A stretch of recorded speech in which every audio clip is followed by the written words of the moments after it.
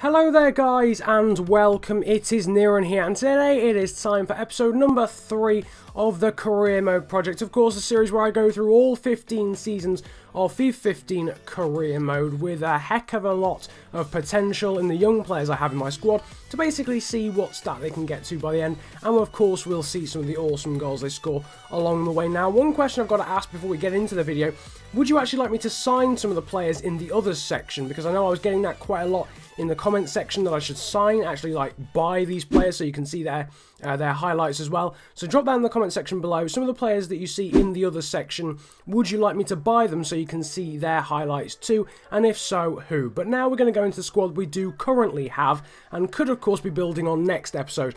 As you can see there, again the overalls have glitched slightly uh, so it doesn't come up with their pluses or minuses or pluses of course in this case. You can you can see all that information in the comment um, in the description sorry below.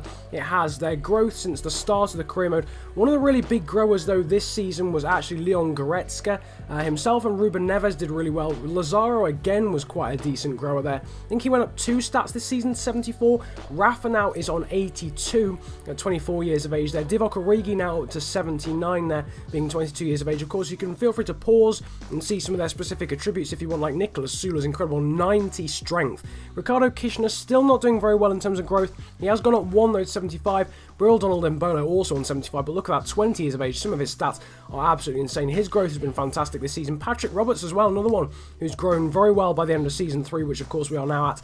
Fares Bahlouli again, I think he's gone up 4 this season. He's now up to 76 there at just 22 years of age. Pierre-Emile Hojbjerg likewise up to 76 and now 21 years of age, with some also very good stats there with like dribbling, curve, short passing, etc. Nicola Murru up to 75 there, he's 22 years of age and he is of course our left back. Lucas Hernandez, one of the best growers all series, he's gone up uh, a, total of I think 11 throughout this entire series. He's now on 74. Uh, Daley Sinkgraven, likewise, he's on 74 there at 21 years of age. One of the slightly underperforming players in the series in terms of you haven't seen much of him in the highlights, but he has been doing fairly well. Fabrice Ondoa there on 69. He's gone up, uh, he's gone up three, I think. Uh, Nathan Redmond there on 77 there, at 23 years of age with that 97 acceleration. Jean-Marie Dongu Safak there at 69, he's been underperforming a little bit there at 22 years of age, and likewise for Paul Nardi. So we're now starting to see some of the players who are doing well, and their growth and they're fulfilling their potential, and some of the other players who aren't really doing so well may of course be sold if you want that as well. Feel free to say if you want players to be sold, as well as if you want them to be bought. But now we're going to get into the highlights, and as you can see, Valentino Lazaro with one of the best assists all series, because that is a Rabona cross into the box there and finished off by Ruben Neves, made by number 37 finished off by number 36, and that is a fantastic way there to start the highlights reel of Season 3. Now we're going to move on to the second goal, and this is Breel Donald Embolo bursting forward in a pre-season game there from his own half, cutting inside and blasting it past the goalkeeper. One of the most bog standard goals you'll see from our strikers because of how pacey and, and just powerful they are. But now Leon Goretzka going forward, skipping past the challenge and coolly slotting it past the goalkeeper. I did think he'd missed that actually, but some nice dribbling to make that possible as well there. Now Hakan Calhanoglu, as I've now been told his name is pronounced, is going to give it out wide there to Roberts.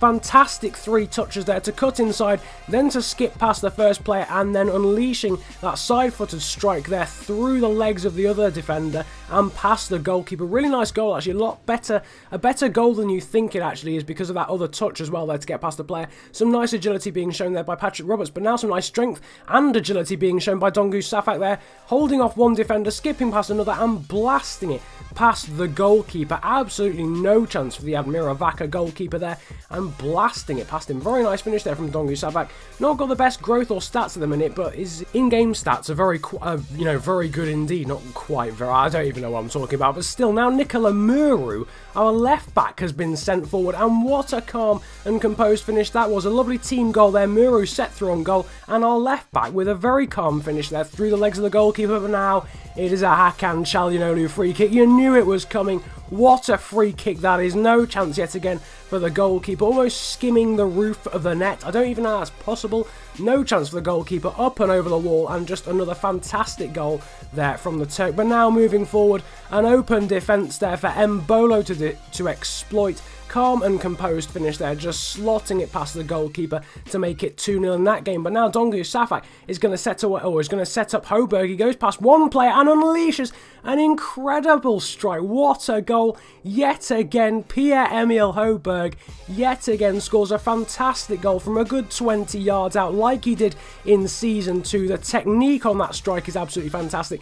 Goalkeeper not even close, and well, I think that's the best goal of this season's of this season. One of the best goals of the series so far. Absolutely stunning there. Another long shot from Pierre-Emile Hojbjerg. But now you're going to see the best chance that was almost incredible. Rafa with some incredible skill down the wing puts it in there for Embolo and the bicycle kick hits the bar. Imagine if that had gone in. Unfortunately not a goal, but what a highlight nonetheless. And now Rafa there with a lovely dinked finish over the on-rushing goalkeeper there to make it. I don't know what the scoreline was in that game, but Leon Goretzka is about to give us lead against Admirovac. A fantastic turn and blasting it past the goalkeeper there. Really nice finish actually from Goretzka, whose long shots aren't fantastic, but his overall shooting is.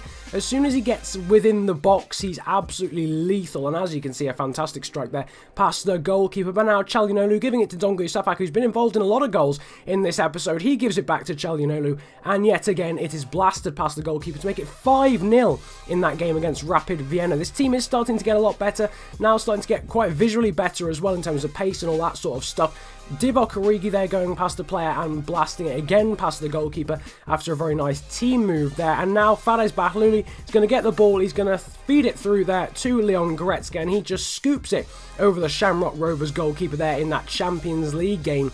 And uh, yeah, it seemed like a very easy goal, but it was very nice nonetheless there. And Calhanoglu with a fantastic burst of pace there to get past that defender, and he slots it in to make it 2 in that game. All the players now starting to have, uh, starting to have quite a lot of pace there. Divock Origi, though, killing the ball there, fantastic touch, and then dinking it over the keeper as well. So some very nice goals then in Season 3, and the, and the players starting to get quite visibly better, it has to be said. Now we're going to move on to the others.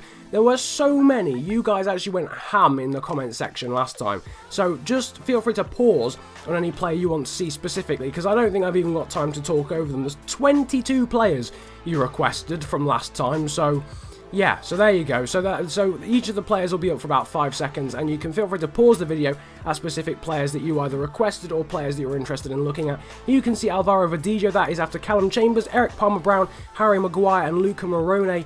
Uh, Eric Palmer-Brown's growth is fantastic. He's up to 70 now. There you can see Youri Tielemans, the uh, the wonder kid there, 79 stat, 20 years of age. Radja Nainggolan there at 84 stat. Dennis Praet, another Anderlecht player there at 77 and 23 years of age. Robbie Brady there, 73 and 25 years of age. Of course, he was from episode 1 that you guys requested him. A new request there, Jack Grealish, the Aston Villa winger there, 73 stats and 21 years of age there from the Irishman. Jordan Ibe as well, who for some reason plays for Derby County on this game. I don't know why, either that or he's signed, I'm not entirely sure. He's 71 and 21 years of age. Clifford Abugai, I don't know if I pronounced that right. He plays for Granada. He looks a very good player. I never heard of him actually when he was suggested to me in the comment section last time. He looks very good, as does Paulo Dybala, 79 stat. He's looking absolutely awesome there. And Bayern As well, who I know from my West Ham career mode. Juan Manuel Iturbe, though, their 87 stat. Absolutely awesome. He's just I mean, that would be inc he's incredible. That's absolutely ridiculous. Alexander Mitrovic there, 77 stat. James Wilson at 70 there for Manchester United. Danny Ings at 73 there, 24 years of age. Some awesome sprint speed. 98 sprint speed. I didn't even know he's that quick. It's absolutely insane there. Wissam Ben Yedder there of Lyon. He's 81 stat, 26 years of age. Now, this guy interests me the most. Yussuf Poulsen there. 79 stat and 23 years of age. He looks absolutely awesome. He's playing for Real Madrid.